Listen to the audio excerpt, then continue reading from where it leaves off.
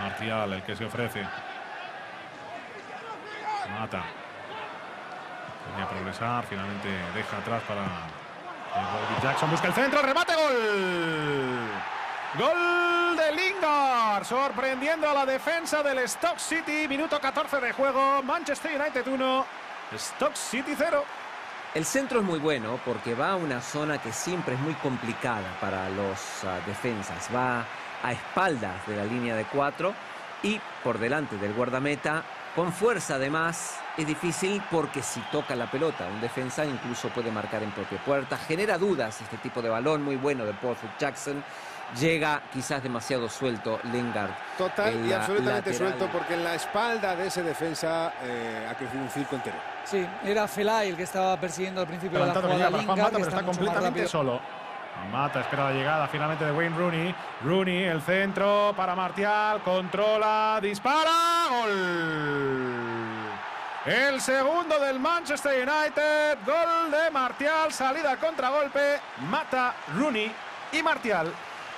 Bueno, este para mí es uno de los goles de la temporada. No por la finalización en sí, pero fíjate dónde empieza la jugada. Saliendo del área, incluso cuando Lingard tocó hacia atrás a Carrick, hubo protestas del público porque pensaban que se estaba jugando demasiado y arriesgando demasiado en una zona peligrosa.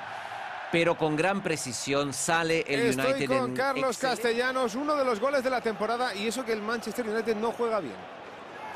Hoy lo está haciendo. Ni los más viejos del lugar recuerdan dos goles en la primera parte del Manchester United en casa, porque había un montón de partidos, por no decir todos, en los que se iba sin marcar.